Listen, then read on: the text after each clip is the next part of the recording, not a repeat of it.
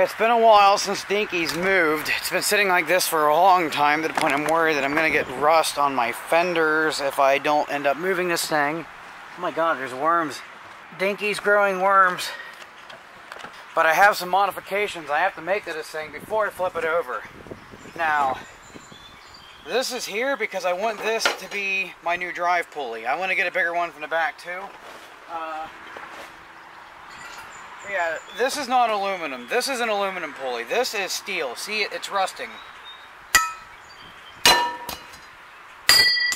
Hear the difference? You could kill someone with this thing. I mean, if you were just grab this and went BAM, you could really mess up somebody's day. yeah, and actually, you know, this probably wouldn't be a bad transmission pulley, but the hole's the wrong size because this would still fit here. But I gotta move this clutch. So first I want to take off everything I can over here. This has got to go, this has got to go. That'd honestly probably be enough. I might have to get rid of these little guides here. And I might have to move the idler pulley unless the clutch goes that way still. Yeah, that'd work if the clutch still went that way. And uh, man, I, this ain't gonna be easy. It's gonna take a lot of the brain. Duckies. Oh, duckies. Duckies. Duck, duck. Oh, am I pissing you off? Ducks. Now, duckies. Ducks. Ducks. Ducks. Hack. Hack. Ducks.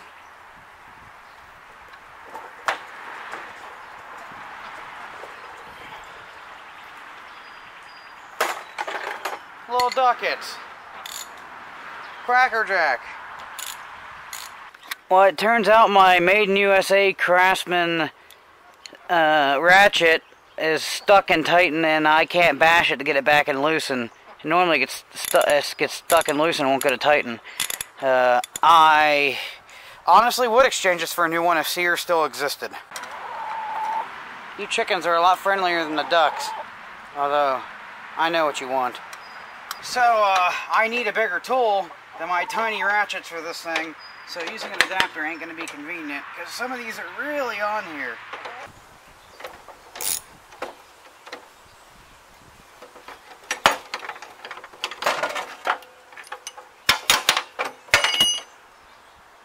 Might be able to use this for something later. Now something else I'd like to do down the road is Oh, come on. Uh, something else I'd like to do down the road, okay, I got that out, is uh, make the blade deck drop arm become the actual brake.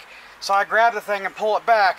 Right now I don't have a brake and I'm not hooking one up to the clutch. Uh, not acceptable. I really like the clutch being brake free and I'd rather not have brakes than install one on the clutch. Because right now, the quickest way I stop is I uh, reduce gear and turn off the key. And I can stop in a couple seconds doing that, but I know it's not good for the transmission. But if I just turn off the key, it ain't a problem. But if I need a fast stop, I slam that fucker in first and turn off the key. Something I don't like about where I want to move the clutch to is that metal's bent and has a lot of flex. I don't know if I like that. I don't know if I want my clutch moving around. But we'll see. But I have to want to brace that. That clutch needs to move. This is the thing I'm going to be a little bit nervous side about because I used a come along to put this clutch spring on just like the other Craftsman and it was not easy with a come along. Ow, that was loud. My ear is so close to that. Man, that spring's got some tension to it. Oh, wow.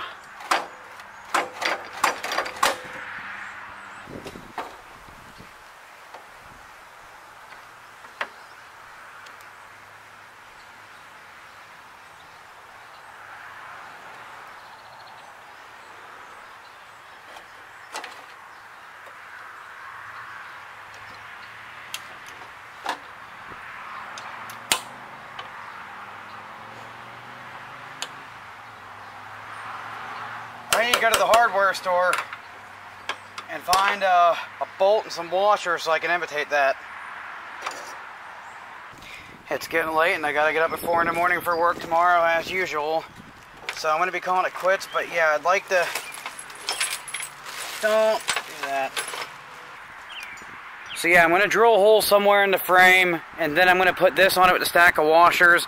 Then I'll put one more washer on the other underside. And when I get it the height I want it,